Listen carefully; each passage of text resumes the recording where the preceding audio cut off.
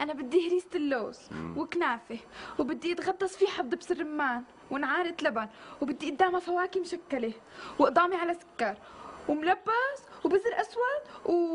وجوز بلدي اتنقرشهم نقرشة ابن عمي. هلا كل هدول بدك تاكليهم؟ ليش أنا ما بستاهل ابن عمي؟ إيه لا بتستاهلوا أنتوا التنتين. ألو؟ يلا جاي على الدكان معتز